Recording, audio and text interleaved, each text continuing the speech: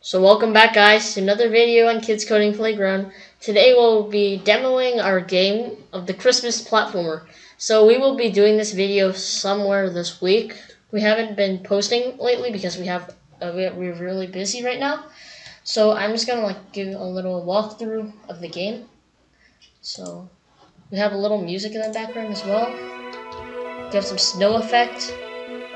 You have the fastest time up here, the timer, level, and you move the player using arrow keys or WASD, and when you hit the flag, you go to the next level. You can also wall jump, and so this is level 3, it's just some presents. It's just some simple uh, platformer we'll be teaching you guys how to do. We also have some jump pads. Uh, we have some sloping and some of that. Wall jump. As you can see, this level is uh, for wall jump.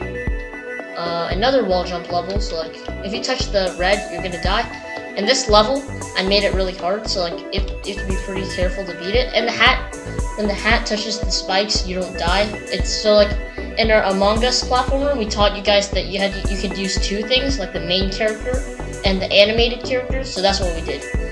And this level is a bit hard, but I passed it. And then this level, you kind of have to be lucky. So like there's, I put like an invisible block and you have to jump on it. There you go. Ah, fell off. And then, boom. And that's it. Uh, good job. Hopefully you compl uh, completed the game. This I just wrote like something in the back.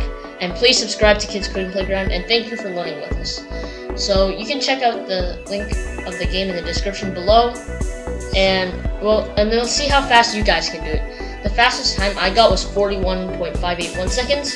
So yeah, so thank you guys for watching. Don't forget to like, share, and subscribe. And I'll see you guys in the next video. Bye.